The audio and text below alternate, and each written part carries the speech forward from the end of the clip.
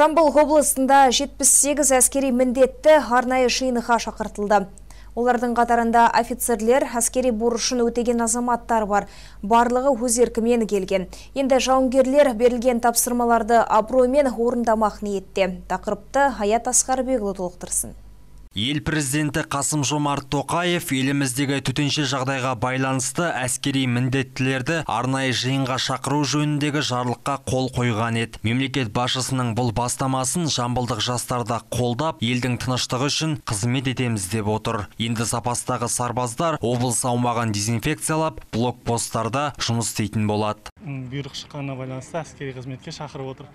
Мен өз еркіммен келіп отырмын осында және барынша өзім қызметімді көрсетіп мүмкіндігінше әрі посттарда және де мүмкіндігінше кез келген жерде дайынмын қызмет етуге. Қай постқа жібереді сол постқа қандай қызмет тағайындайды барлығын атқаруға дайынмын.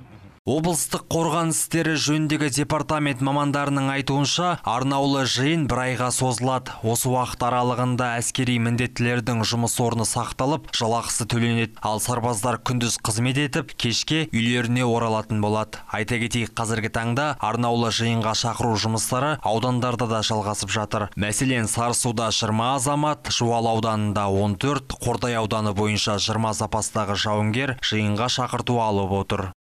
Аят асқарбекұлы әділбек самаликов бекзат ханандасбек жеті жеті ньюс.